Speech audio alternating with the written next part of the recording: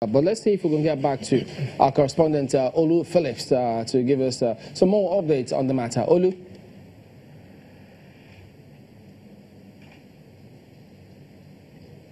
Go ahead, Olu Phillips.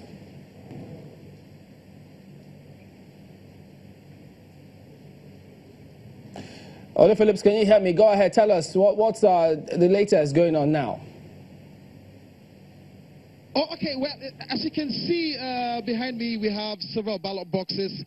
If um, the cameraman can actually zoom in on one of them, you will see that we have those of House of Assembly, House of Representative, the governorship, and all the way through. So what that tells you is that today, people at this polling unit has, have also voted for House of Representative.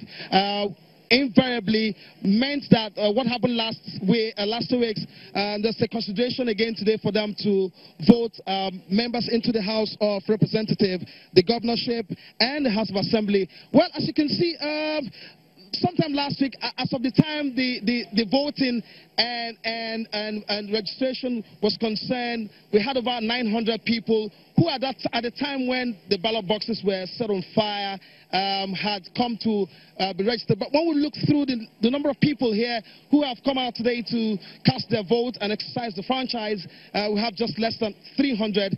And, and, and this just tells you what may have happened. Earlier, I spoke to a lady and who was also here last week and has summoned up a lot of courage to be here again today. Um, if, if, you don't mind, can you come, come along? Um, so, so tell me again, uh, today, as against all of the fear about coming out to vote today, why did you decide to come? Because um, if I don't vote, um, if I don't vote, um, I can't complain. I can't complain about any irregularity. My vote should count. That's why I came out to vote today. And, and, and are you disappointed too that um, some of the people that came out last week? What number were you last week? Um, 357 and um, we had um, a, whole lot of people here last week. As on my last count last week, we had about 960 something people. But today, um, I'm afraid, um, two two words: um, voters' apathy. People have refused to come out of their homes to vote, and it, it's very, very, very, very, very, as in distressing that it took um, INEC like 20 years for them to forge trust with Nigerians and. just 2019, we've shattered the trust. So I, I don't think Nigerians have an, um, any um, out of trust in INEC anymore.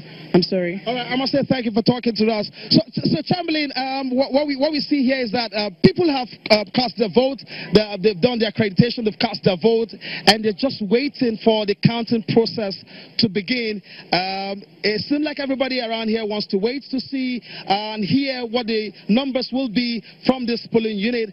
And like you well know, I mean, this polling unit has become a bed of news. Um, a lot of media houses coming to feast on it after uh, Channels TV talked about it um, some two weeks ago and followed up on a lot of stories about this. We've seen a um, couple of dispatches of security men, those from the RRS, um, members, um, security personnel from the Operation Python Dance, Egwu Eke 3, um, people from the 81D. We've also seen um, ordinary policemen from detachments around um, Okota police station and, and, and, and nearby. Everybody just coming around to make sure that what happened some weeks back won't repeat itself again. It's not likely it's going to happen, uh, but the results are already beginning to show in the number of people that have turned out today to vote. Uh, well, the, the, boxes are looking full, and there are no attempts at the boxes today. Not yet. We don't expect that to happen, uh, but this is what it is. Um, uh, incidentally, when I spoke to some of the people here earlier too, they told me that the INEC officials arrived quite early. Uh, apparently, um, because of what happened, they had to arrive early so that voting and accreditation can commence. Uh, people are trickling in, but right now, uh, voting um, seems to have stopped because there isn't anybody trying to cast the vote. But obviously, um, from some hours from now, we'll be hearing the results from this polling unit. And we'll also be bringing you reports from other polling units within this place and feed you with those um, pictures. Chamberlain. All right, uh, Ola Phillips, uh, thank you very much indeed for your reporting. But the verdict continues in just a moment. Stay with us.